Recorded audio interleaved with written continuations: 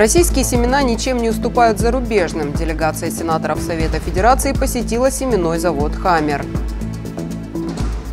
Здесь работают специалисты высокого класса на качественном оборудовании. Такую оценку дали Онкоцентру Республики представители Минздрава России. Воздействие социальных сетей на современный английский язык. Этой теме посвятили встречу школьников с директором лингвистического центра СКГА. Ансамбль песни и пляски Северокавказского округа Росгвардии выступил на сцене Дворца культуры в рамках гастрольного тура, приуроченного к образованию войск Нацгвардии. Добрый вечер. На телеканале «Россия-24» информационный выпуск «Вести Карачаева-Черкесия». С вами в студии Мадина Лайпанова. Делегация Совета Федерации во главе с первым заместителем председателя Палаты регионов Андреем Яцкиным посетила Карачаево-Черкесию. В ходе визита члены делегации проведут встречи с руководством региона, осмотрят сельскохозяйственные предприятия, медицинские и туристические объекты. Сенаторы уже побывали на предприятии «Хаммер». Это один из крупнейших селекционно-семеноводческих центров на юге России. Производимые семена ничем не уступают зарубежным аналогам. На сегодняшний день реализуют семена преимущественно в Ставропольском и Краснодарском краях краях – Кабардино-Балкарии, Северной Осетии, в регионах Поволжья и в Карачаево-Черкесии. С уходом с российского рынка зарубежной продукции спрос на отечественные семена резко возрос. В связи с этим планируют расширять производство, чтобы обеспечить все потребности сельскохозяйственных товаропроизводителей.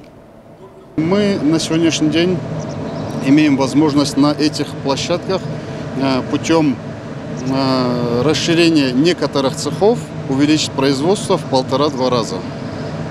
В основном, э, основной цех у нас калибровочный цех, он уже рассчитан на э, более 15 тысяч тонн э, семян кукурузы в год. Благодаря уже существующей поддержке правительства и регионального Минсельхоза у нас и получается развитие ежегодно, то есть мы наращиваем темпы, темпы производства. Поэтому развитие идет.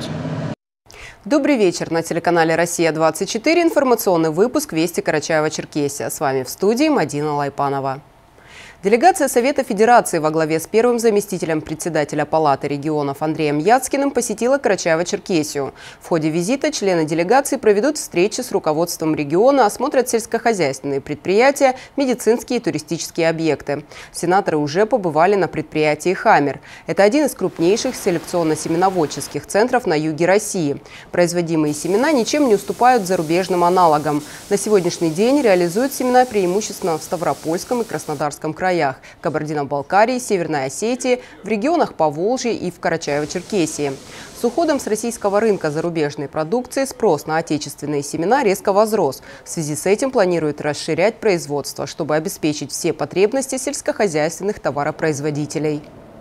Мы на сегодняшний день имеем возможность на этих площадках э, путем э, расширения некоторых цехов увеличить производство в полтора-два раза. В основном, э, основной цех у нас калибровочный цех, он уже рассчитан на э, более 15 тысяч тонн э, семян кукурузы в год.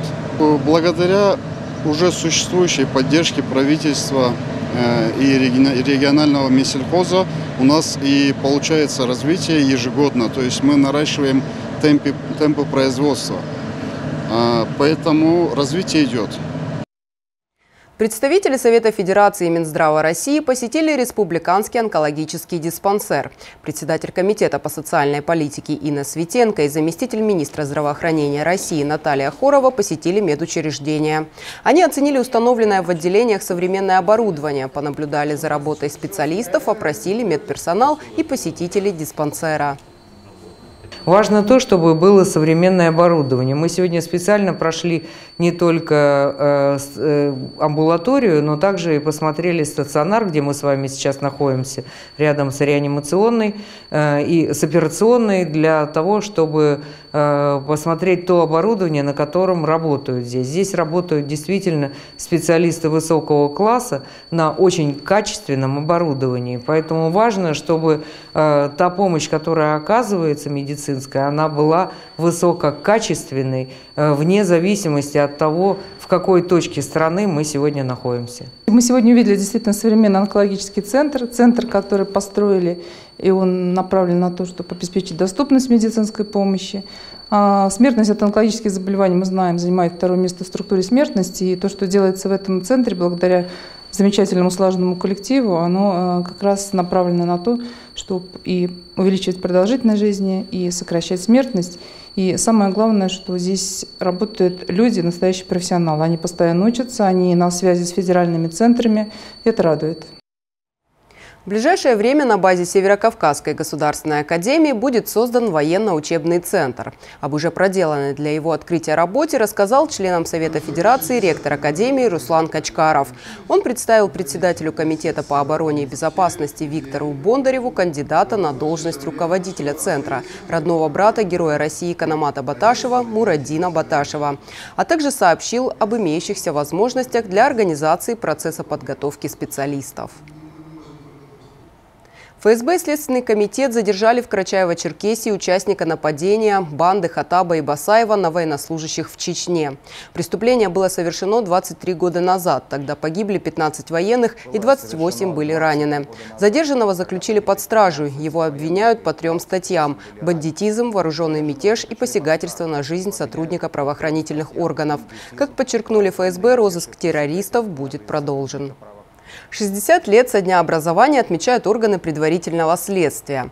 Так, в Следственном управлении МВД по Карачаево-Черкесии службу несут сотрудники, которые занимаются расследованием уголовных дел, дорожно-транспортных преступлений, преступлений экстремистской направленности, а также в сфере незаконного оборота наркотиков, оружия и преступлений против личности.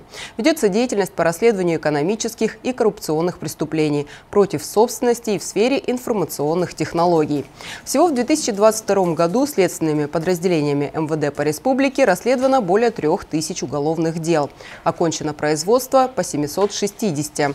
Отмечается увеличение уголовных дел, направленных в суд с обвинительным заключением.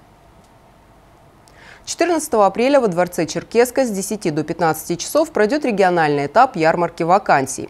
Ряд предприятий Карачаева-Черкесии готовы предложить рабочие места. И одно из них – Хабесский гипсовый завод, которому уже 30 лет. Производство уверенно развивается, расширяет ассортимент выпускаемой продукции. В начале года открыли цех по производству гипсокартонных листов. Как осуществляется новый процесс и условия труда в новом цехе, узнавала Альбина Ламкова.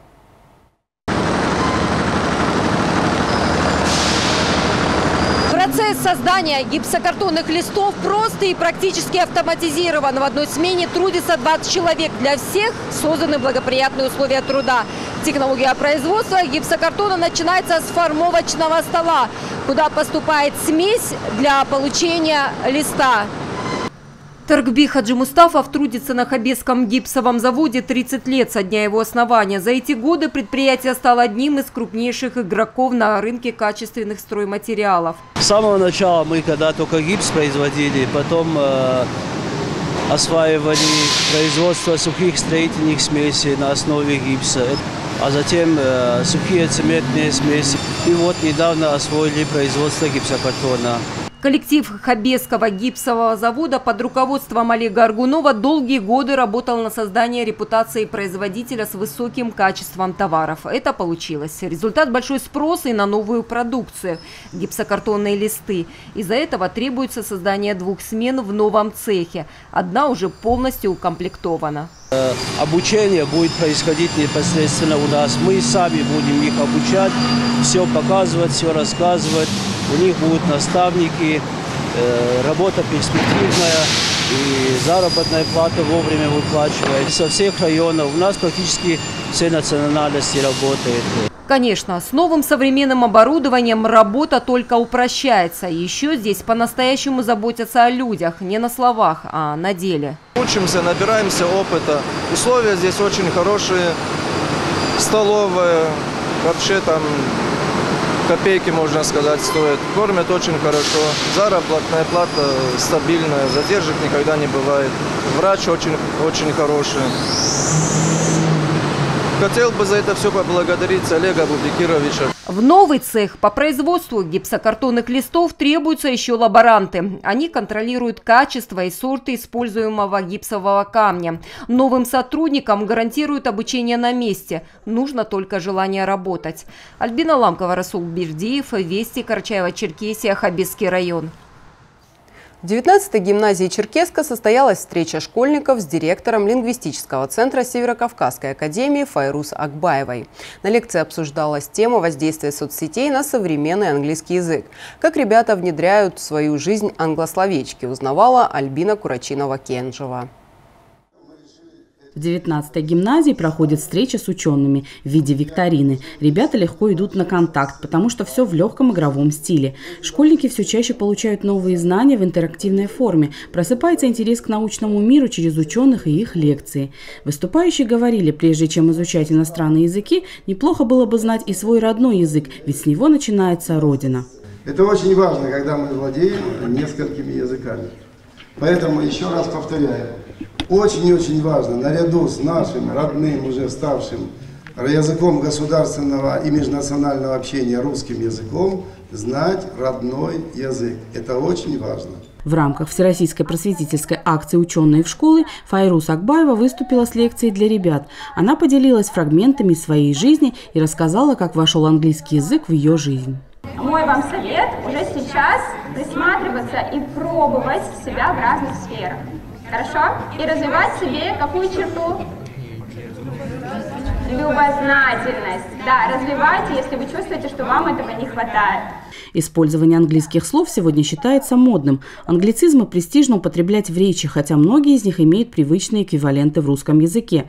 Иноязычные слова активно используют политики, журналисты, писатели, демонстрирующие желание быть в тренде. Вот примеры подобных слов. Лайк – кнопка «Нравится» в социальных сетях, впервые появившаяся в 2010 году в Фейсбуке. Бан – запрет для пользователя отправлять сообщения. Респект – уважение. Хайп – шумиха, ажиотаж вокруг какого-либо события человека. Месседж – сообщение, письмо. Шеймить – стыдить кого-либо за что-либо, конфузить. Фейк – что-то поддельное, а не настоящее. Список подобных англицизмов легко можно продолжить. София Бакшива учится в седьмом классе, изучает американскую культуру, английский язык и подписана на многих иностранных звезд в соцсетях. Потому что элементарно буду понимать, о чем говорят люди. И, например, может быть, я буду певица, и если я захочу записать песню, чтобы люди слушали, а как бы английский это же самый популярный язык, то есть э, нем, э, он владеют э, люди и в России, и в других странах, и поэтому это очень, важно.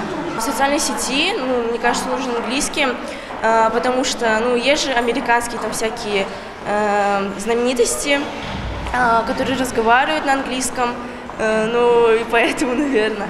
Хочется за ними следить, да? да? Например, я люблю американцев, как бы там тиктокеров, певцов и вообще пар всяких, поэтому мне нравится.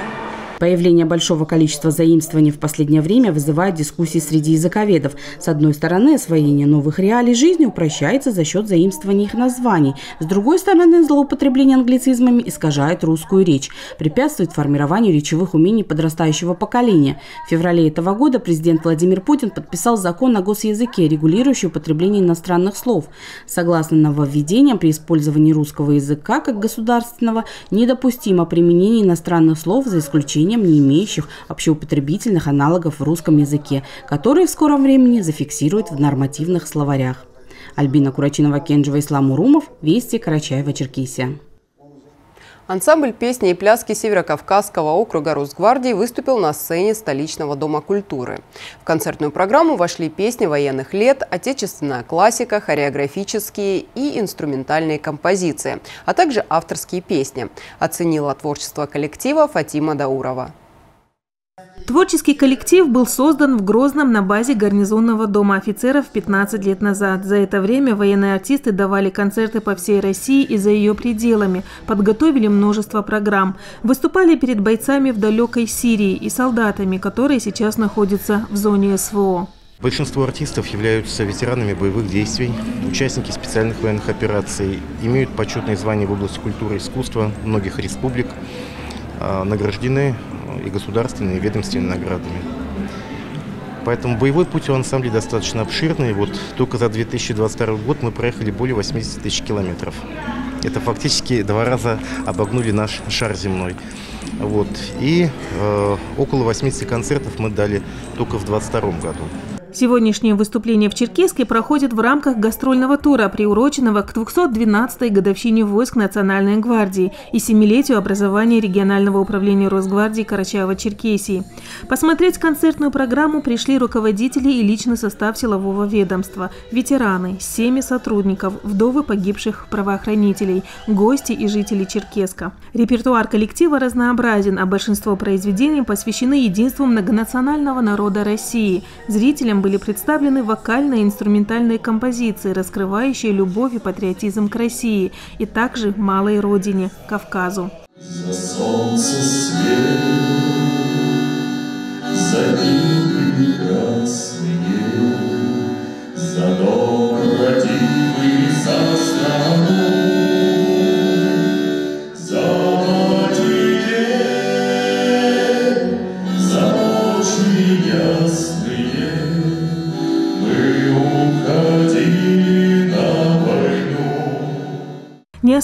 собравшихся равнодушными и красочная танцевальная программа, сорвавшая аплодисменты всего зрительского зала. Классический матросский танец английских моряков, обогащенный добавками и доработками движений из русских народных плясовых, так и призывал всех пойти в пляс вместе с танцорами.